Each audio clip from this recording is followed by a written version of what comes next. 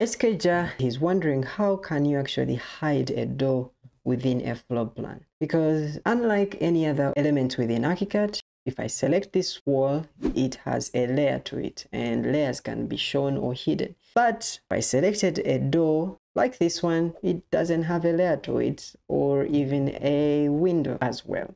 So how do you actually hide these in floor plan? Well, it's something called the model view options. We head over to document, model view options, and we say site. You can see that all the doors and windows disappear.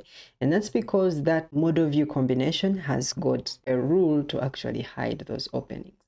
They haven't gone anywhere. They haven't definitely been removed, but they have just been hid. If we want to get them back, we go document, model view, and choose building plans, and they'll be back.